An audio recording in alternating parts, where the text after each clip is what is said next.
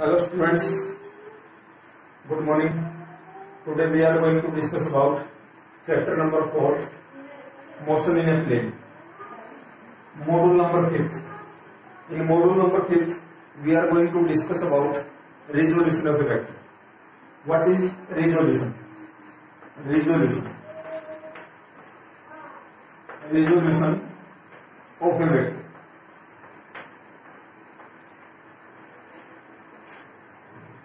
the resolution of a vector the vector a o p is the vector r now we try to resolve this vector r along vector a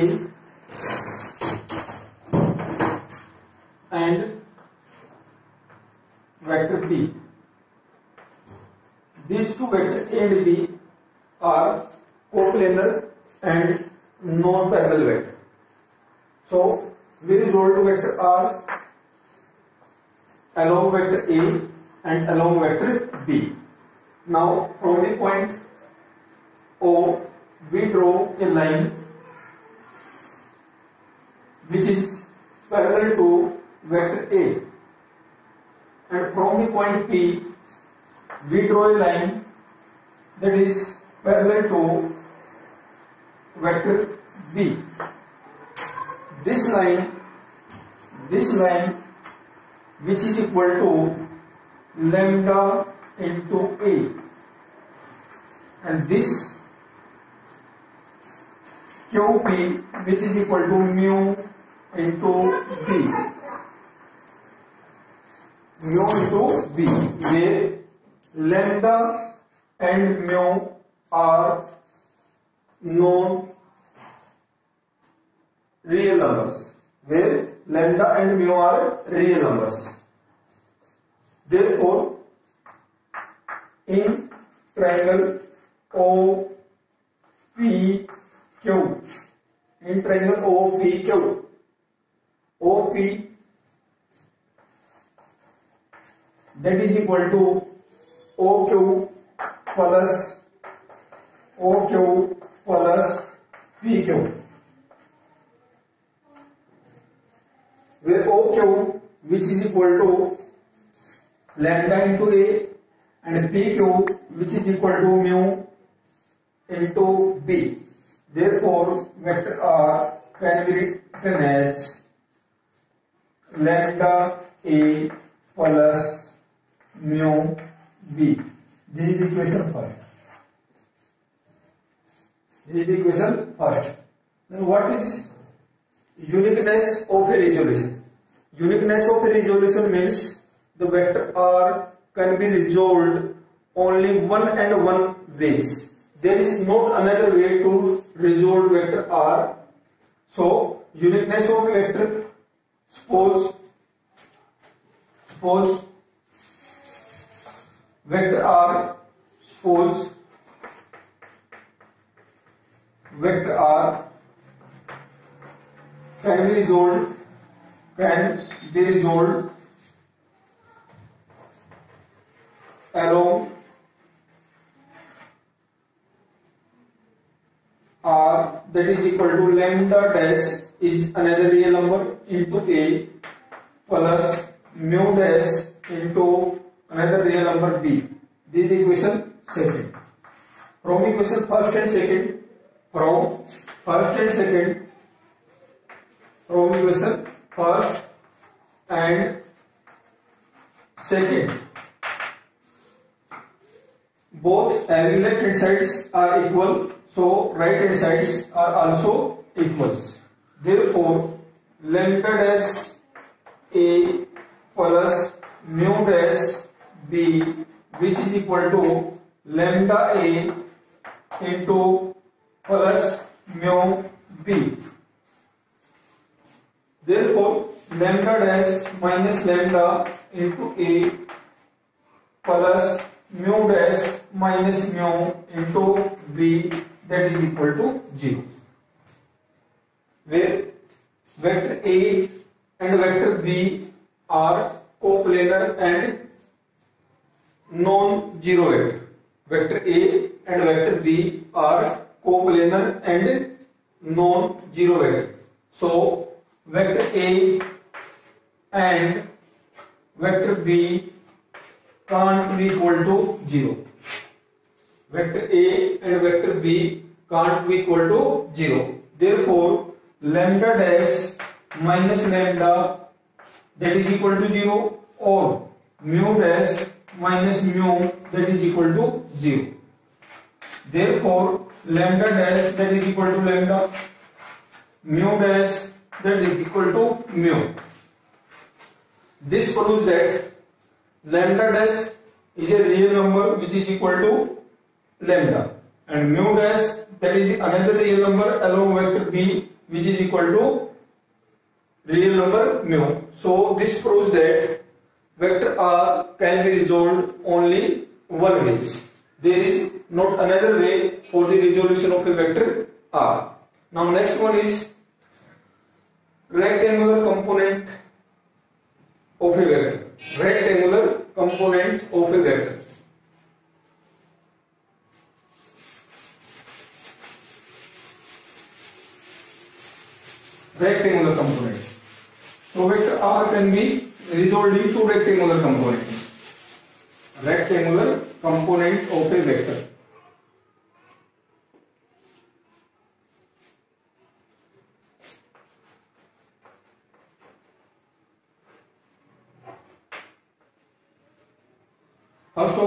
will discuss about orthogonal triode vectors. Orthogonal.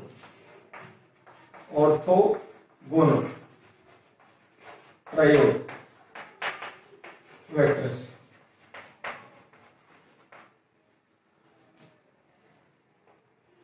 This is the y-axis, this is the x-axis, and this is the z-axis.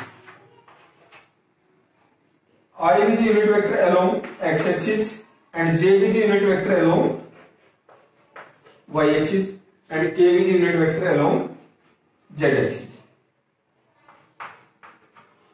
where i j and k where unit vector i unit vector j and unit vector k are called orthogonal triode vectors so magnitude of vector i that is equal to magnitude of vector j that is equal to magnitude of vector k that is equal to 1 this proves that all these unit vectors are perpendicular to each other i unit vector perpendicular to j and j unit vector perpendicular to k and k unit vector perpendicular to unit vector i this proves that all the orthogonal triode vectors magnitude of vector i magnitude of vector j and magnitude of vector k that is equal to unity Next one is rectangular component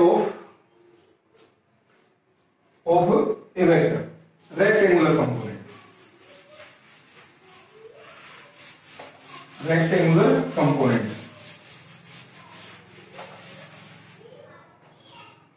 Rectangular. Angular component.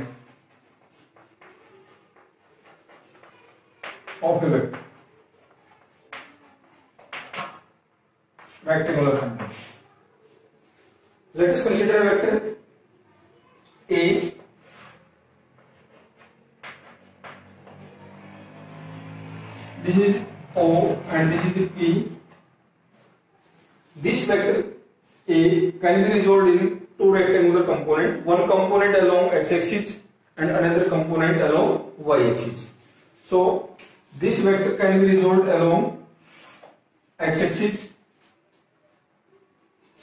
Draw PM perpendicular on OX.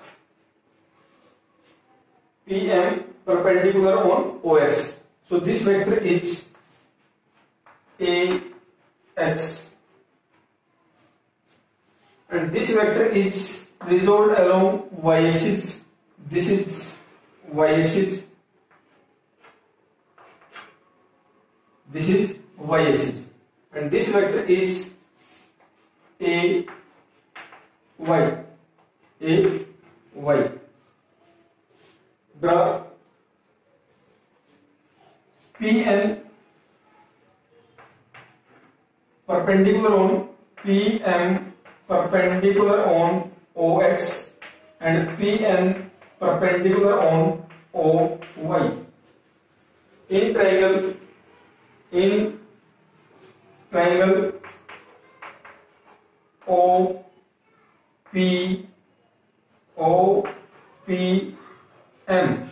in triangle OPM, by using Parallelogram law of factor additions, so in triangle OPM, OP OP that is equal to OM OM plus PM PM where OP that is equal to vector A OM that is equal to vector AX and PM that is equal to vector AY This is the equation first. This is equation first. Therefore, ax ax vector ax that is equal to magnitude of vector ax into i unit vector. i unit vector along x axis and j unit vector along y axis and vector ay which is equal to ay into j. now in triangle in triangle OPM in triangle OPM PM divided by में OP that is equal to sin theta that is equal to sin theta PM PM vector A P M A X divided by A that is equal to sine theta in same triangle in same triangle O M divided by में O M divided by में O P that is equal to cos theta O M that is equal to A Y that is equal to a cos theta. This is equation second. This is equation second.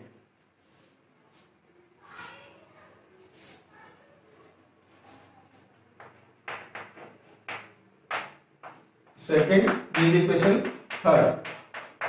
Squaring and adding equation second and third. Squaring and adding equation second and third A X का square plus A Y का square that is equal to A square cos square theta plus sine square theta cos square theta plus sin square theta that is equal to one so A X का square plus A Y का square that is equal to A square in same triangle we find the direction of vector A. This vector. In triangle PM divided by OM which is equal to tangent theta, which is equal to tangent theta. PM that is equal to AY upon AX that is equal to tangent theta. Now theta is multiplying both side tangent inverse. Theta is equal to tangent inverse AY divided by में AX. Next one is multiplications of a vector. Now, vector can't be multiplied by simple algebraic. So, vector are multiplied by law of vector multiplications. With the help of law of vector multiplications, we can multiply two or more vectors in simplest ways. Next one is multiplications of a vector.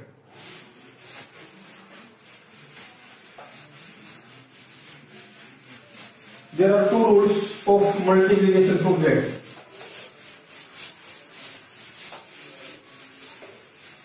Multiplication from a vector.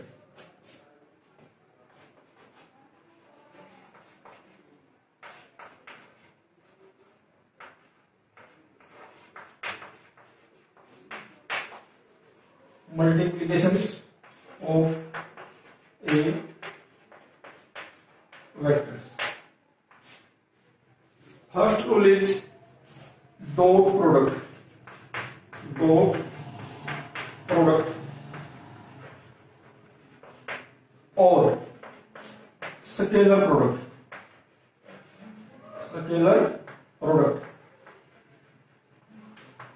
Second rule is vector product or we can say that cross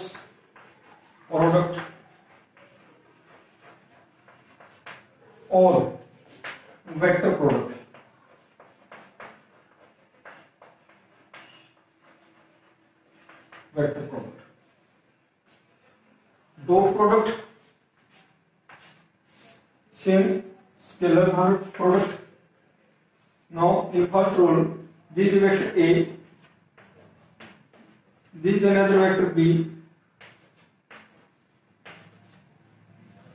In first rule, and theta with the smaller angle between them. Theta with the smaller angle between them.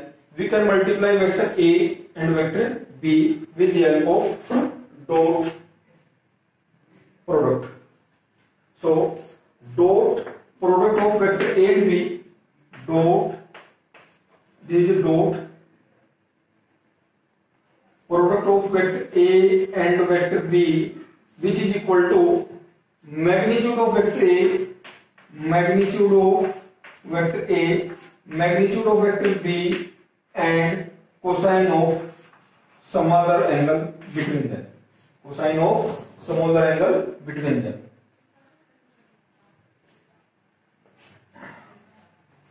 now dot product of two vector quantity is a scalar quantity dot product of two vector quantity is a scalar quantity because magnitude of vector A is a scalar quantity magnitude of vector B is also scalar quantity and cosine of smaller angle between them is a scalar quantity so we can say that dot product of vector A and B we get scalar quantity Next one is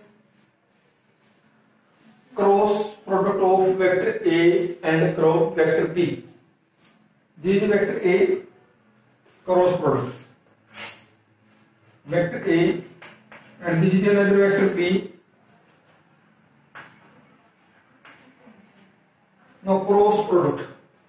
Cross product of vector A and vector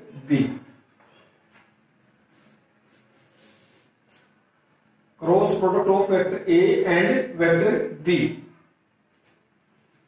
is the another vector C vector that is equal to n unit vector magnitude of vector A magnitude of vector B and sin theta sin theta so this can be written as cross product of vector A on vector B. Cross product of vector A and vector B which is equal to magnitude of n unit vector, magnitude of vector A, magnitude of vector B and sine of some other angle between them. Sine of some other angle between them. Now next one is thank you. Thank you. Have a nice day.